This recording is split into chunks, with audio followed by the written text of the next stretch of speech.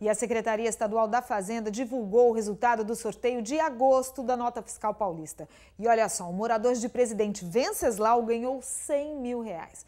Mas o que muita gente não sabe é a lista de produtos que geram mais crédito. E é o que a Michele Bacelar mostra agora na reportagem. Acompanhe.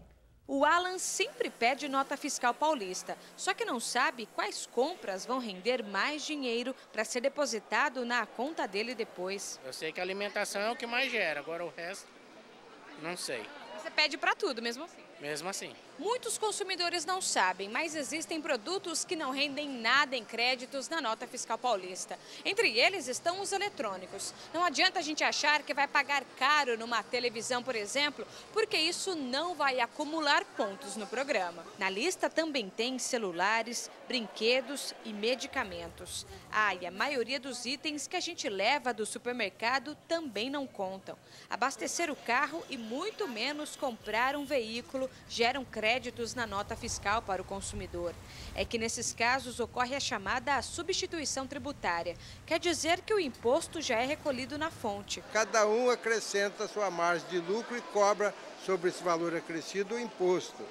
Em certos produtos, como nos combustíveis, por exemplo, eles já cobram no início, para toda a, a cadeia de circulação. No estabelecimento que não vende um produto que dá esse incentivo, como o combustível, por exemplo, que já vem pago, é, mas ele tem outros, graxa, óleo, é, loja de conveniência, que então a, a vantagem você exigir, mesmo para a nota fiscal do combustível, a, a nota fiscal paulista, porque você é beneficiado nos outros que você comprar.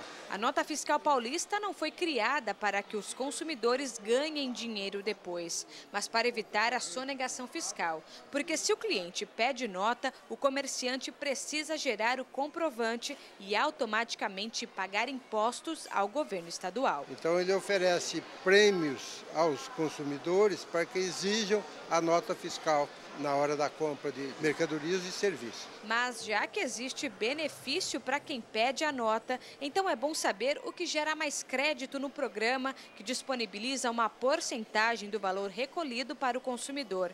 Comprar roupas, sapatos, acessórios e a comida no restaurante são os que mais rendem. Quanto mais supérfluo, maior o retorno para o consumidor. Se o estabelecimento é pequeno, pouca gente pede, você terá um retorno maior. Por isso, tem gente que já conseguiu juntar bastante grana com a nota fiscal paulista. No começo eu tirava 500, 550, já passou para 300, depende. O tanto que eu deixo acumular lá. O site para consultar os sorteios e o quanto você tem de crédito é o nfp.fazenda.sp.gov.br.